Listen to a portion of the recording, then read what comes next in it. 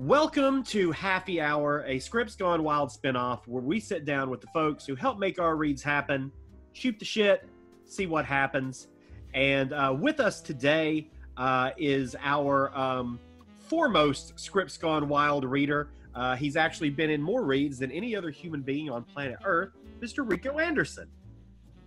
Hello. Welcome, welcome. Oh, he's also an actor and has done a lot of cool things too. But we'll talk about some of that. Uh, he, he isn't just known for Scripts Gone Wild. Uh, we should we should make that abundantly clear. But it's great to be included in that known for because it's, That's right. I mean, you're in the pantheon now, sir. You're currently you're currently several several reads ahead of your your closest competitor, Who's who's number two? Who, who Aaron LaPlante. Aaron LaPlante. Okay, he's he's a he's a close second. On He's a close second, and Clark Wolf is right behind Aaron. okay. All right. So as soon as I start slipping, that's when they're gonna try to take the lead. Huh? Uh, it's going to be tight for the next few reads between you and Aaron. It's going to be, it's gonna be real tight. wow. Um, Wow. Here's a question. I- I'm curious because every time we do a live read, it seems like the chats are equal parts pro Rico, but also wanting you to get really drunk and possibly die of alcohol poisoning. What do you think that's about?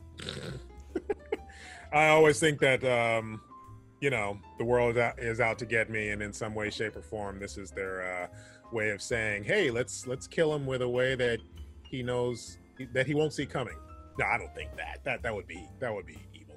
Uh, They're they're they're they're killing you with liquor because they love you. Yes, yes. As long as it's good liquor. I mean, you know, I'm not I'm not the type of person who just goes for anything. Although I have been known to just be like, "What do you got? All right, let's do it." You know, so. What would you say has been the drunkest you've gotten in one of the reads?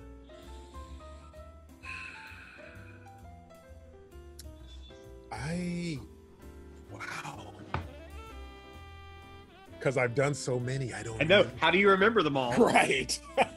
um I don't I can't answer that question because I honestly don't know. I mean, I've never blacked out or anything. Yeah. You know, I, I don't I don't I don't I don't do that. I don't get to that part. Um I, I will say this, and I say this uh, responsibly. I, I, I, it was probably during one of the live readings Sure. um, when when we're at El Cid. Um, Same for me. now, yeah, and and when you know I I drive there, but if I know that I'm a little, it's it's just not safe.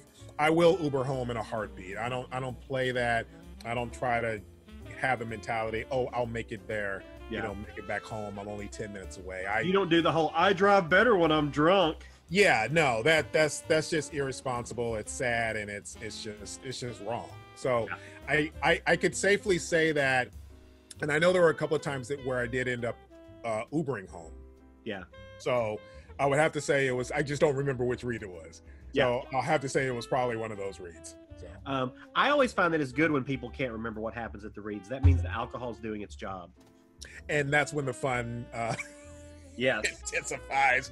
Although I will say you can have fun without alcohol. Also, I want to Absolutely. I want to drop drop that re- level of responsibility. But hey, you know, it's it's a party. It's for charity. It's for a good, a, one, a wonderful cause every single time, and you know, it's it's you know, we're having fun as long as we understand our our limitations and what we're doing. Hey, you know, Yeah.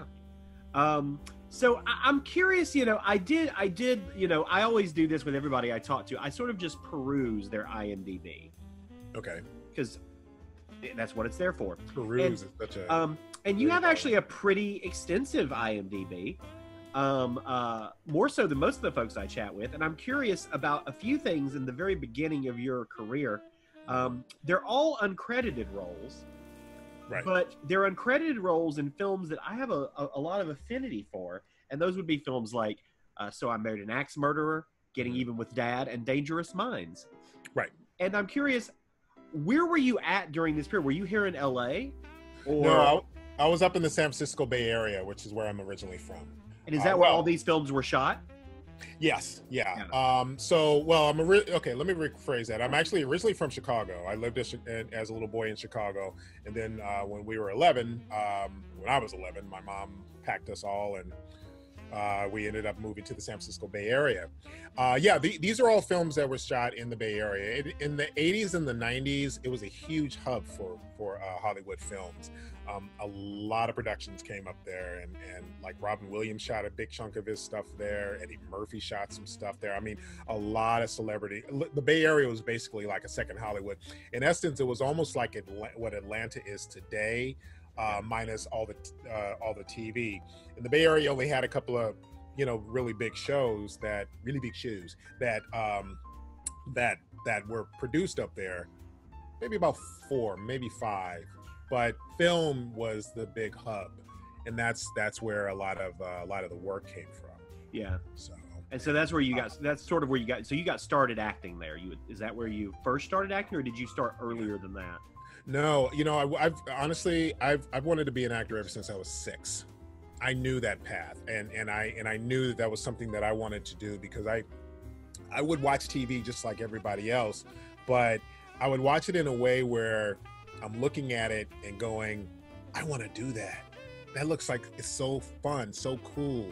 And I saw representations of myself, black kids, black adults, and but I also noticed that I didn't see a whole lot of us on, on, on yeah. Yeah. And even in film. I mean, probably more film than TV, but still, you know, the, the representation wasn't as solid as, it is like today.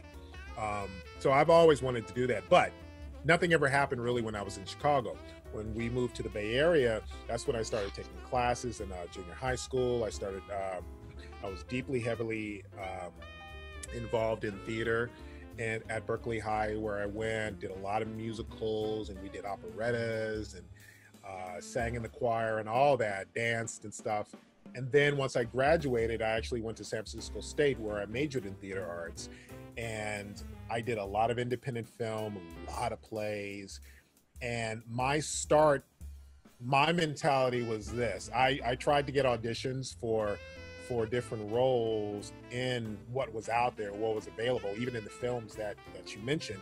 Uh-huh. Um, I wasn't able to get those auditions, but I basically wanted to still be on set. I wanted to learn what a Hollywood set was all about. I wanted to know why things worked, why these lights were hitting this, that, and the other. I wanted the Hollywood experience. And so all those credit uncredited roles are basically background work. Yeah. And it but you know, the the wonderful thing that I could say about background work was the fact that it was very um it was very educational and it honestly is still to this day some of the best experiences that I've ever had because I saw those actors who had maybe a couple of lines in, in the movie to the big actors who had all the lines. And I just I, and, and and I knew I wanted to be those actors that had all the lines, but even the actors that had just a couple or just in a couple of scenes, I wanted to be there. I wanted to be in that mix. So I saw what I was doing as a, a start to that. Yeah um, and that that's what those were and and and being in those films were a lot of fun. I mean you know again like so i married an axe murderer. It, we we shot that well my scenes were shot like on the uh, at the embarcadero uh, which is right uh, in san francisco basically on the piers and stuff. Yeah. And it was my first time working with a rain machine.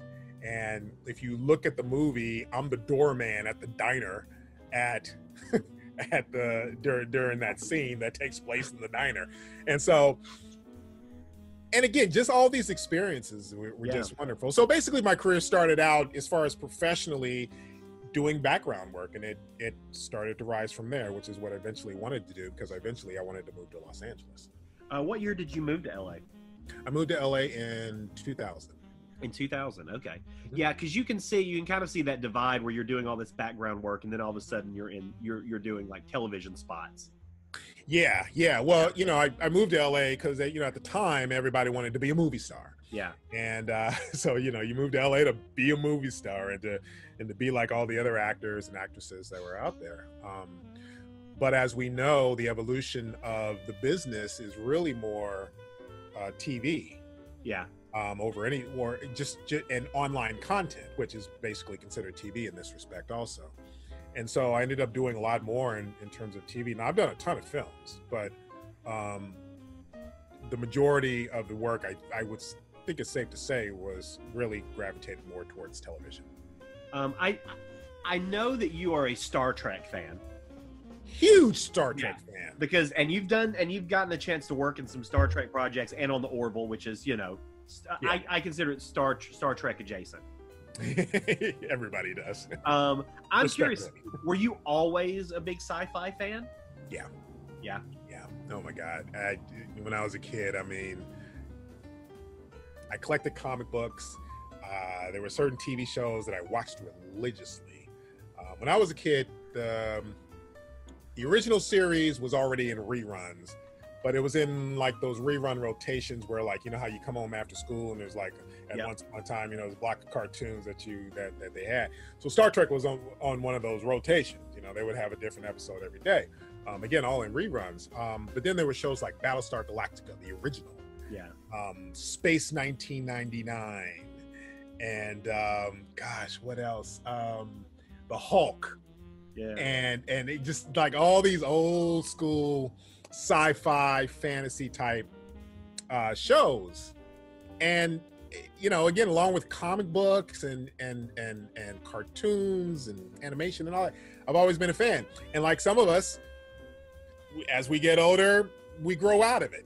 yeah. But then you have a huge conglomerate of fans who, no matter how old they are, they're still loving those animations. They're still loving Star Wars, Star Trek, everything, you know.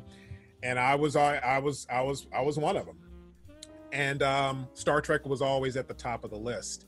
Always loved Star Trek. I was excited as, as all hell when I, when when Next Generation uh, came out, and that you know, I was like, "Ooh, new Star Trek!" And of course, the movies and everything, and and going back to when I was six, wanting to be an actor was one thing, but wanting to be in Star Trek was a whole other thing. And I really wanted in when it came to that.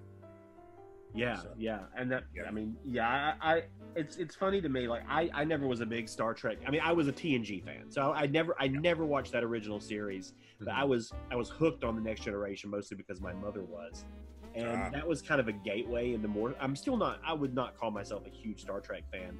Mm-hmm. Uh, I watched TNG. I watched those films, but um, it's Star Trek. I feel like is a good gateway drug into other sci-fi. It is. It is. Um, you know, it's interesting. You know, you have that whole Star Trek versus Star Wars thing. Yeah, and Star Trek has been around. While Star Trek has been around longer, when Star Wars came out, it took sci-fi to a whole other level. yeah, Um, but what it did was it helped Star Trek because next thing you know, the fans, um, gosh, it, Star Trek lasted for three seasons. The fans were wanting more Star Trek even after that. And because of their writing campaigns and calling the studios and all of that, this is obviously way before the internet and people could send emails and whatnot. Um, there were all these campaigns to to bring it back. And next thing Yeah. you know, uh, the mo- uh, Star Trek: The Motion Picture came out, yeah, and that was a semi okay hit. But what it did was it said that people still wanted more Star Trek at the end of the day. Yeah. And so that's when it really started to take off more with more movies. And next thing you know, Next Gen came out, and and then it's just been pretty much going nonstop ever since. It had a small eight-year um, uh, sabbatical where nothing was happening. But the great thing about that was that's when the fans really stepped in, and a lot of the um, Star Trek actors stepped in and started producing uh, independent uh, Star Trek projects yeah. Yeah. and that was along the lines of uh, one of the things that I was involved in was the independent Star Trek project, Star Trek Renegades. Yeah. And so that was a beautiful experience because I, I had the opportunity to work with Tim Russ, who played Tuvok on Voyager, who directed it, and so many other different actors from Star Trek and other sci-fi uh, franchises as well. It was almost like I had the opportunity to work with people that I grew up watching and admiring in the sci-fi realm. And I mean, Herbert Jefferson Jr. from Battlestar Galactica, the original, was in Star Trek Renegades. I had a chance to really talk to him and just kind of chop it up with him and just let him know how much what he did back then, how much that meant to me because of the fact that a I was seeing a person of color, um, a black man on a on a huge series.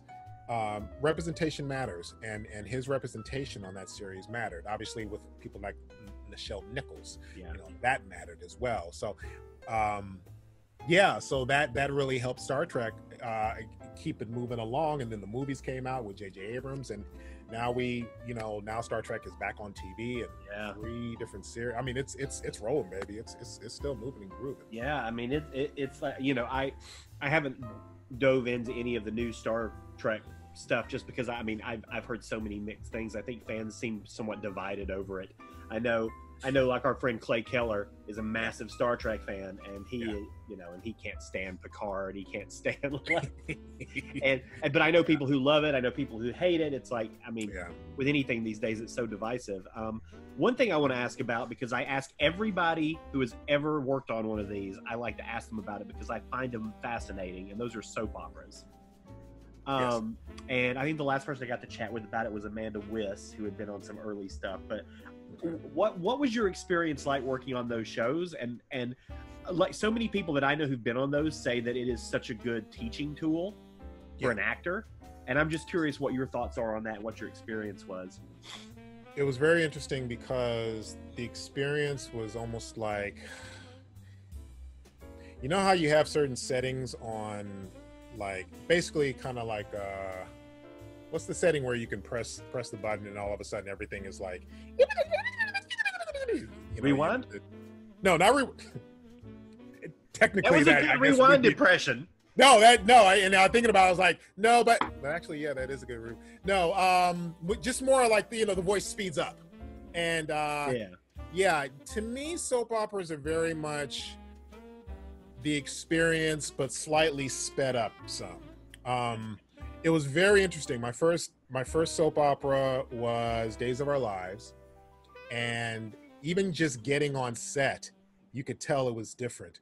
My dressing room was different. My dressing room had a TV that had a pipe. It it, it piped into um, what was on TV. You could watch anything, but there was a channel that piped into what was happening on set. And it could have been them shooting a scene. It could have been just you know the setup, but there was always a camera. There was always a camera on in the casting director's office as well. Um, once you got to set, you're getting ready, yeah, and it's quick. You you may get a couple of takes out.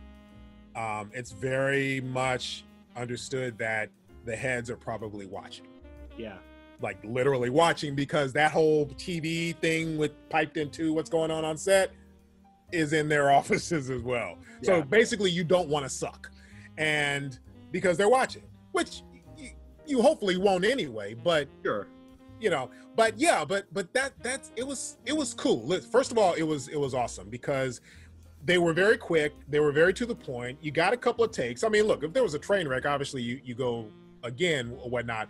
But it's just understood that you go in there, you do your work, um, and you're you're done. They're very quick. And if you think about it, there's an episode a day, so they're banging. They got to bang stuff out. There's no time for like major issues that. Uh, you know but it's it's not it's not canned performances it's it's i mean some people may say because it's soap operas but um you know they're very they're, they're very focused they're very serious and um it reminded me of theater without the audience also yeah, I, I- yeah. I Um, hear that. I hear that a lot, which sounds fun. Yeah yeah it is it is because you, know you obviously have the rehearsal process and then you're doing it then and then you're shooting it it's quick it's to the point it was different it was interesting i like different i like i like interesting i like i like the challenge of walking into something that is a little bit different than what you're normally used to like a movie set or uh, a tv set or if you're if you're doing television if it's live in front of a studio audience that type of thing uh, which is so much fun I'm curious. Um, how how much I had this conversation with uh, Alex Marshall Brown recently in the one that we did, and I, I and I'm curious because she talked a lot about um, the, the way she was the way she as a black woman was typecast in a lot of roles, and weirdly, one of those roles she was always typecast in was a police officer. And uh, which makes total sense. You've got people Right who you've got people who are wanting to, uh, you know, okay, we're going to cast a black person as a police officer. Racism solved. Like, everybody go home yeah. And so I'm curious, have you, how much of that have you found also in in, in the stuff that you've done? Because I do see a lot of stuff on here where you play detectives and you play police officers. Dude, let me tell you. And listen, first of all, just a disclaimer I'm, I'm always grateful for any opportunity to audition and for any roles that are offered to me. But if you want to be successful in this career and do more, you have to grow. Yeah. And the only way you're going to grow is if you you you be eventually begin to say no to certain auditions, certain maybe you know direct offers and whatnot. Um, I was also brought in a lot as police officer number one, police officer number two, detective, bodyguard, Yeah. all those things. And I would say yeah, big maybe half of half of the stuff I ended up auditioning for, getting, accepting. Because at the end of the day, you also want the credit on Sure. on your resume. And if you don't have anything on your on your on your resume, it's good to have that credit to build, especially if it's a a, a TV show that has a huge following.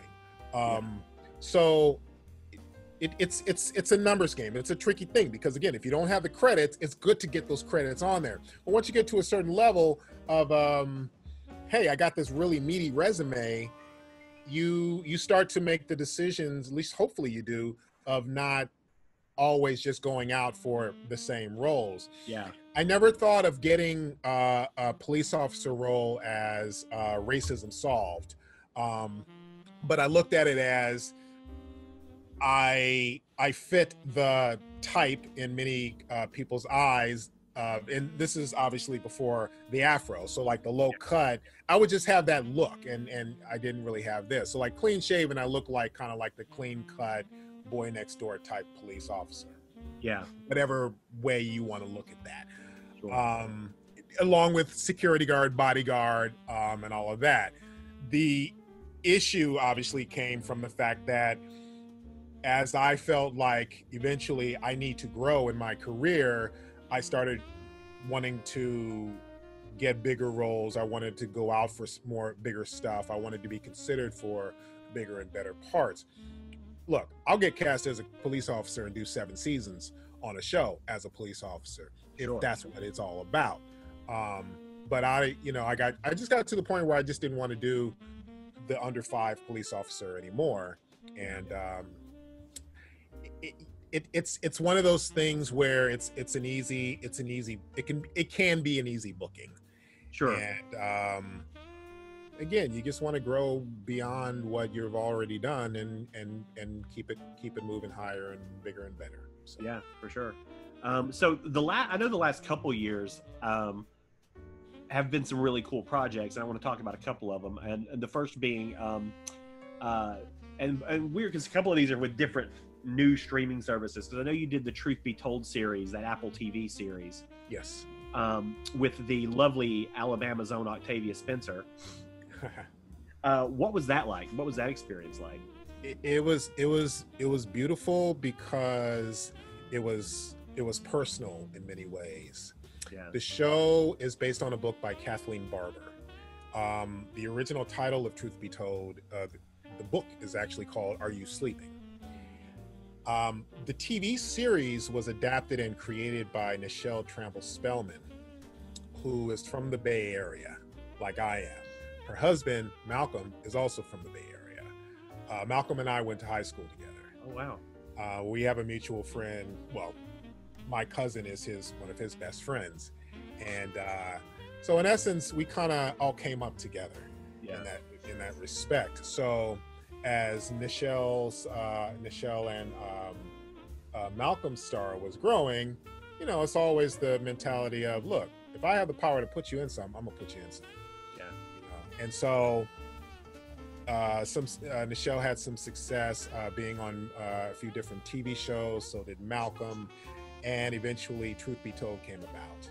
And as they were casting up and getting everything ready, um, I was actually in Oregon shooting a shooting, shooting a horror film, Get Gone, and uh, I got the call that uh, I have an audition for Truth Be Told. I didn't know it was Nichelle's show. I almost turned it down. I almost turned it down because going back to the whole under five mentality and not Yeah. wanted to, you know, being considered for for bigger roles. It it wasn't it wasn't that. But what I didn't know was it a I didn't know it was Nichelle show. B I didn't know that it was it was a recurring role. Uh, somehow or another that slipped through the cracks. I don't know what happened. Um, but anyway, I didn't know. But I ended up going in. I ended up doing it. And ended up booking it. Yeah. Um, I was told later on that it was it was it was a recurring role. And I, I was talking to I was talking to my buddy Malcolm. He's like, you know, this is Nichelle show. And I was like, what? And he, he was like, yeah. And I was like, ah, this is so cool because again, you know, she's coming up, Malcolm's coming up, I'm coming up. Um, the first episode had uh, had a recording artist who was another friend of ours who we grew up with. Um, uh, his name is Fantastic Negrito. He's a he's a two time a two time Grammy winner. Uh, uh, like literally last year won a second Grammy, and um, you know he he provided the music for that that first episode. Um, who else? Uh, ben Watkins was one of the consulting producers on that. He's from the Bay Area. I did touring theater with him. Um, it was it, oh, the show takes place in the Bay Area. Yeah. It, it it it in Oakland, and so there was this whole feeling of Bay Area people doing good, but not only Bay Area people doing good. These are my friends. Yeah. No, these are these are my friends. These are these are my friends to the point where they're my family. Yeah. And that's you know it always it always warms my heart when people that I that I've been in the trenches with are getting you know a book and stuff. Yeah. But when I see you know the people even closer to me getting it, Bay Area doing good and and um, and being a part of that and and I've had success in my own right also, but being able to be brought into this um, is is is a beautiful thing. And I had a great time on set, and obviously I, I got a chance to meet and work with Octavia and Ron Cephas Jones from This Is Us, Us Tracy Tracie Thoms, who's also in it, um, and just it, it, was just a wonderful experience, wonderful time, and I was renewed for season two, so we'll yeah. we'll be back. Well, and the other the other series, which is a Quibi series, uh, which for those of folks who watch Quibi, that's that seems really interesting. I haven't watched this yet, but it looks fascinating considering it's got Laurence Fishburne and Stephan James in it, who I both love. But I hashtag Free Rayshawn. Um, yeah. What what what was that like? How did that come about, and what was that like? Especially knowing it's a Quibi series. Right. Well, uh, truth be told, see what I did there? Uh, I did. Um, that the work that I did on that was all ADR work. Okay. But it was all ADR work for the whole for for all 15 episodes. Now, keeping in mind, all 15 episodes are like five six minutes a piece. Sure. sure. So it's a new. It's it's it's kind of a, it's not really a new concept, but it's a uh, I guess a Hollywood type concept now because a lot of people have done web series that are you know five or six minutes long. Yeah. Right. But yeah, it's it's uh it was it was ADR work, which uh, for a lot of people who don't know, ADR work can is more or less like, depending on the level of it, it could be like background voice work, but with residuals. Yeah. And and it's it's it's a cool gig, and it's it's wonderful when you can when you can get that. It's different. It's it's in studio experience, and it was a lot of fun to do. A lot of fun. Well, tell me about Get Gone because you've talked about this before, and this was that horror film you alluded to that you were shooting in Oregon. Yeah. And um, which again, and another one I have not seen. I, I, see every horror film, and I've still not seen Get Gone. I feel oh, like I've seen every Lin Shaye film except Get Gone. Um, so I need to see this, and I'm just curious how this came about and how much fun was it. I imagine it's always fun to shoot a horror film. Oh my gosh! Well, uh, Michael Thomas Daniel is the writer, the creator, the writer, and the director of Get Gone. I met Michael in a uh, infomercial class that we did for a weight loss product and uh, we just he and I kept in touch over the years. And uh, one day he hit me up and he's like, "Dude, I, I wrote this script. It's a horror film, and uh, I want the lead to be a black guy." And the the running joke is usually black people get killed within the first 10 15 minutes of a horror film yeah so, yeah so he wanted he wanted the lead to be to to be a black guy i mean so he wrote the part for me and my character's name is rico so yeah. ranger rico so um so yeah he he he i i accepted it. He he gave me the lowdown in terms of what where they were at and where they were looking to shoot it and all that. And uh, he was able to uh, get lin shaye uh, on board. Lin shaye from the insidious series from uh, uh, there's something about mary and so many other different amazing projects. Uh, robert miano um, two of the coppola boys Nick Cage's son, as well as his nephew. and uh, a host of other uh, wonderful actors from Oregon as well as here in LA. And uh, we shot in Cascade Locks, Oregon, which is a small town about 45 minutes from Portland, uh, which looks like, respectfully, I say this, the scene of a horror movie. Um, more so because of the forest and Yeah. you know just the, just that whole type of setting. Um, the whole Twin Peaks vibe.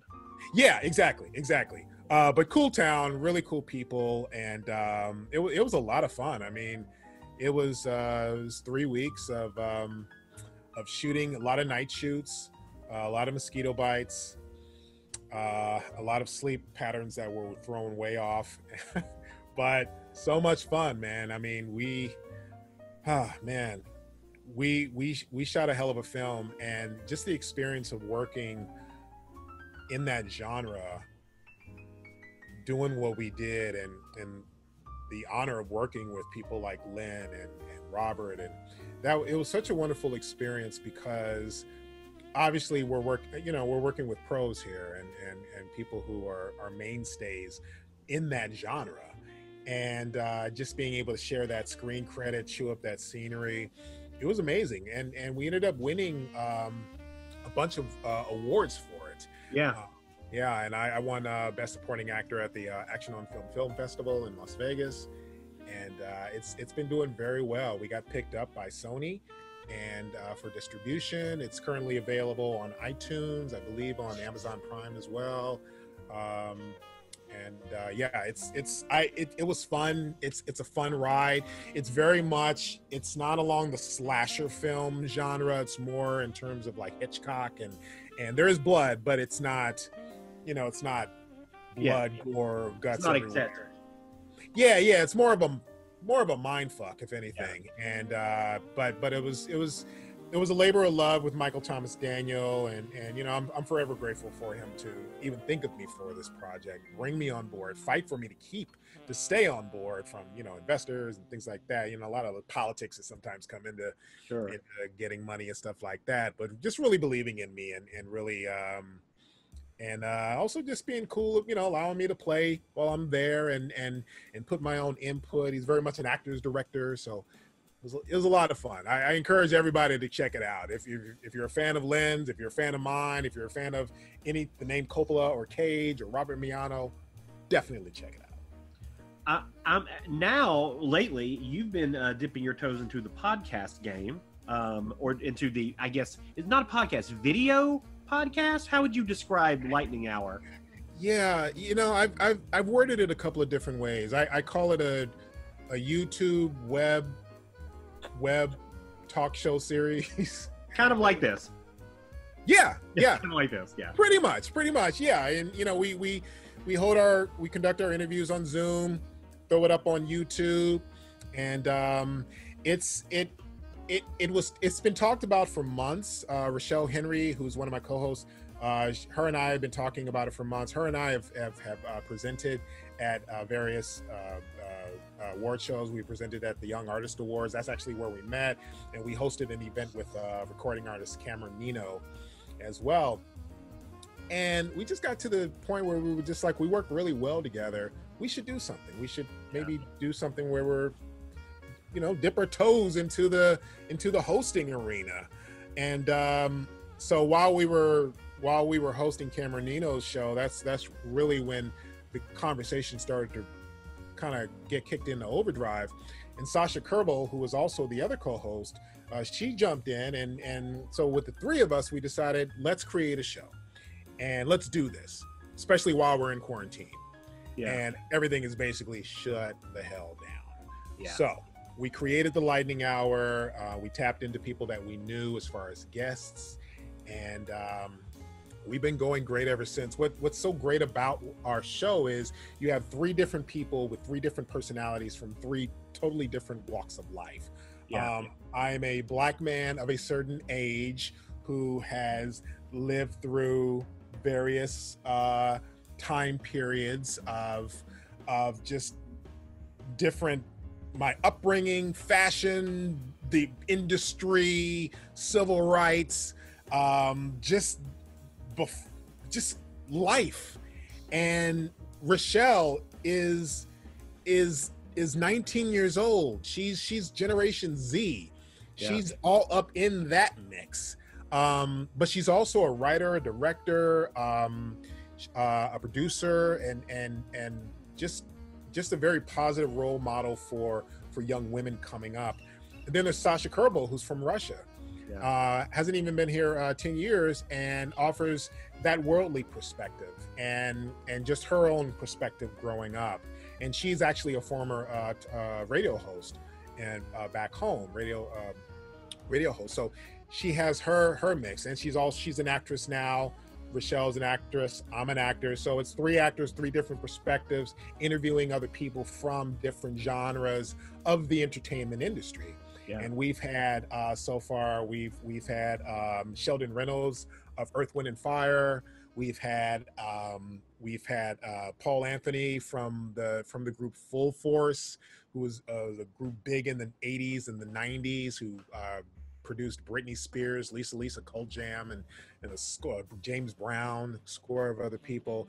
Uh, we've had uh, Gloria Garayua from the hit show Reckoning, uh, Christian uh, Hutchison Hutcherson from uh, the hit show Dark Netflix, um, and and a whole variety of other people as well. We have and, and we've already completed our first season. We're actually in our second season right now, and uh, we have some really fun, amazing guests. And um, yeah, man, we're just you know we're we're off and running while still pursuing our acting career and and doing that. One of the greatest things about this industry is the fact that we can dip our toes into so many different genres yeah. and you know the fact that you during covid there was all of the like you know it's like you look on instagram and there's nothing but people doing interviews and and people just talking to people and connecting with people. And so we're taking that to the next level creating the lightning hour creating a, a specific format a script and just having fun throughout as we go. And it's it's been great. I mean the fact that we're on our second season and we've had the guests that we've had it's it's been it's been it's been awesome man. And, and i can't say enough about my co-hosts and just it's been beautiful man been That's beautiful awesome. so I, I encourage people to please check out the lightning hour. Please go subscribe to us on youtube and uh, follow us on instagram and and enjoy the uh, we had tj storm godzilla who's currently godzilla Yeah. on on our show man. I mean it's it's oh and man, you ugh, the guest that we got coming up is going to be sick sick. Well, there you go. Well, Rico, I'm going to end this chat the way I end every chat by asking you to tell me, out of all of your performances of the projects you've done, what is the one that you wish more people knew about?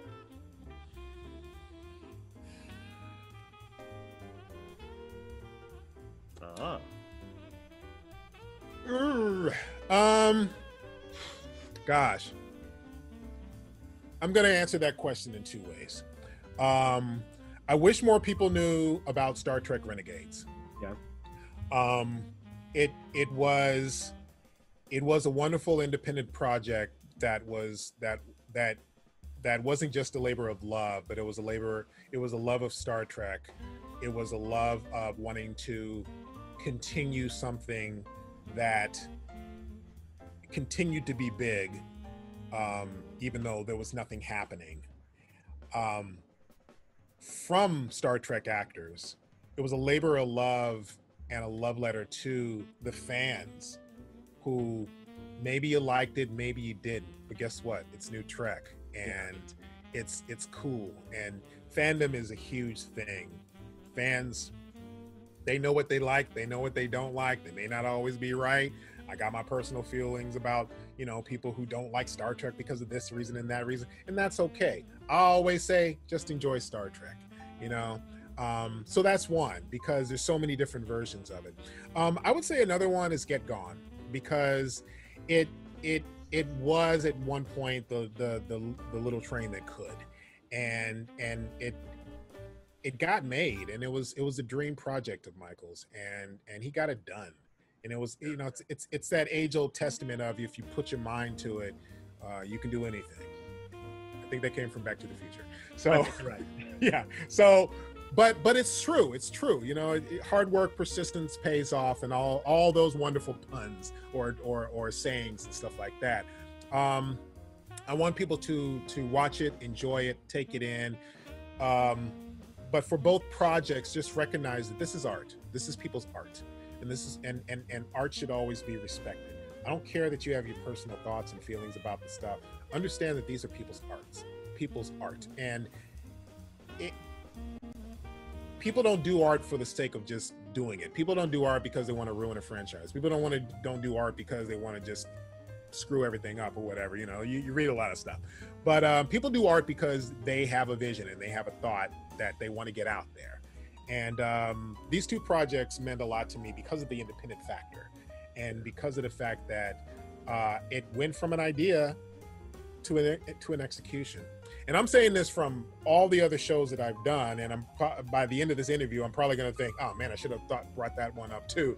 Yeah. But right now, that the, these are the two projects that come to mind because I started out my career doing a lot of independent work, yeah. uh, a lot of independent film, a lot of independent theater. So I have a I have an immense love for independent projects that that come from from the heart and come from a place of I don't know, from a from a place of just just original creativity that a lot of people may not put a whole lot of stock into.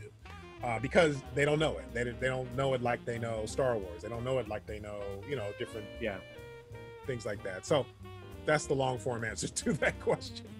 I think that's a I think that's a lovely lovely final answer. Um, Thank you. I appreciate you sitting down and chatting with us, sir. Um, I'm going to do a couple of quick pimping uh, things for Scripts Gone Wild coming up because when this drops, uh, our next read will be Flight of the Navigator on the 23rd, um, which is an exciting one. We've got the lead from that film, Joey Cramer, who was like 12 when he made that movie. He's an adult now and he's reading the Max role. It's also his birthday that day. Uh, it's going to be on a Sunday, which is not our usual night, but we're doing it because it's his birthday, and we thought that would be a fun way to celebrate that. And then on the 26th, we have Fright Night, which is hosted by our buddy Frank Dietz. And um, and that's what's coming up now. You can follow us at, at Scripts Gone Wild across all social media, scriptsgonewild.com, patreon.com slash Scripts Gone Wild. Where can folks find you, Rico? They can find me on Instagram at I am Rico Anderson. Same handle on Twitter, and I believe just punch in my name, Rico Anderson, on Facebook. I have two pages there. Fantastic. Well, thank you again for sitting down with us, sir. Billy Ray, can I do one more quick plug? Hell yeah. All right. I 10 years ago I did a play called The Ballad of Emmett Till. Oh. It is the story of Emmett Till. Oh. And uh, for people who don't know, Emmett Till was a 14 year old boy who went to um, uh, Money, Mississippi to visit his uh, uncle for the summer. He was tortured and murdered brutally for supposedly whistling at a white woman. Yeah. He actually um, he actually had a stutter and he was taught when you when you get to the point where you're stuttering too much whistle so you can kind of smooth it out yeah. the story goes that happened when he and his cousins were at uh, at a at a basically a store buying candy and then everything went down after that um, this is a wonderful piece written by Ifa Bayeza and uh, we did this 10 years ago at the Fountain Theater and uh, we are reviving this uh, for uh, for an online performance that we're going to be doing, and it's it's it's going to be with the Fountain Theater. Tickets are twenty dollars. Um, I encourage everybody to please um, uh, watch it. Yeah. It it is actually in some people's cases the beginning of the civil rights movement, which even Rosa Parks thought of Emmett Till at the time when she was feeling like I'm not going to get up from this bus. Yeah. And so it we won we were the show to beat that year and we won you know we won all the awards including the ovation awards which is like the biggest award here in, in southern california. But beyond that it's a wonderful historical piece. Um, it's a very abstract piece. Um, it's told from the mind of emmett till.